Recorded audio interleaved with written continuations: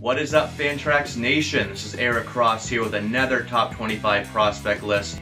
Been putting these out all season long on Fantrax HQ, and today we're going to head up into the Northeast, into New England, my neck of the woods, talk about my Boston Red Sox.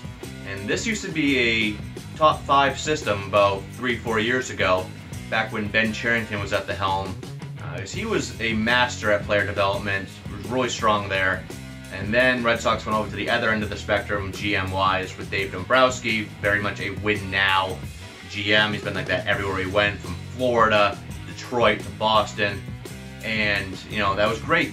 Brought us the 2018 World Series with his, you know, trading away prospects for Chris Sale, Craig Kimbrel.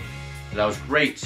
Um, but now this is a bottom 10 system. But there's still some intrigue here for Dynasty Leagues. So I'm going to highlight just a few of these guys here so that has some intrigue for Dynasty Leagues.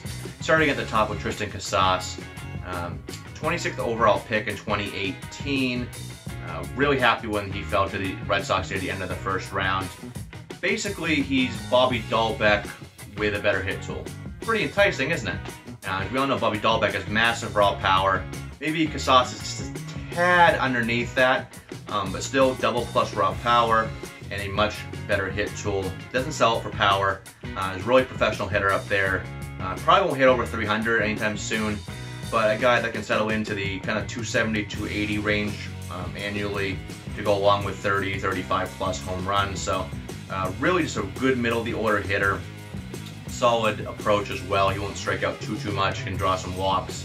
Uh, so a guy that's going to slot Summers in the middle of the lineup and have uh, very good counting stats, good power, good RBIs, good runs scored probably. Um, that won't add much speed. Obviously, he's a first baseman. Um, but you know, he does have some athleticism, so I wouldn't be surprised if he adds a handful of steals in there. But you want him for the power, and he's not going to hurt you in the average department as well. Make sure you subscribe to the Fantrax YouTube page uh, right below here. We're going to be putting out a lot of uh, prospect videos, baseball videos in general, over the offseason and in, into the 2020 season, the draft season. We should be putting out a lot as well. So make sure you subscribe below and you know move your leagues over to Fantrax today. I put out a video not too long ago. Check it on this page. Uh, a bunch of reasons why you should. It's the best dynasty platform out there. So make sure you move your league over, and if you do, you get a free year of premium features. Um, pretty good deal right there. So a lot of good stuff there. Make sure you subscribe. Move your league over today. Catch you next time.